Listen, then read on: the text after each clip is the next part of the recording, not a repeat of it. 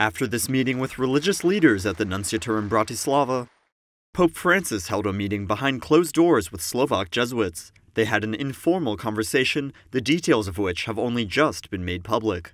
The Pope meets with local Jesuits on all of his trips, and the director of La Civiltà Cattolica, Antonio Spadaro, reports what the Pope says to them. This time, Pope Francis reveals that he is in good health, though he says some people wanted him to die. He continues to say some prelates thought his condition was more serious than reported and were preparing for a conclave. When asked how he handles criticism from Catholic circles, the Pope reportedly says, I may personally deserve attacks and insults because I am a sinner, but the Church does not deserve this. It is the work of the devil. Pope Francis also expresses his disappointment in those in the Church who want to move backwards, because, he says, life scares us.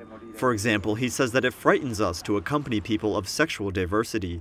The Pope also makes another reference to what he has called two great perversions in the Church clericalism and rigidity. Ci portano davanti una religiosità rigida, di rigidità, che ci toglie quella libertà nello spirito che ci dà la redenzione di Cristo.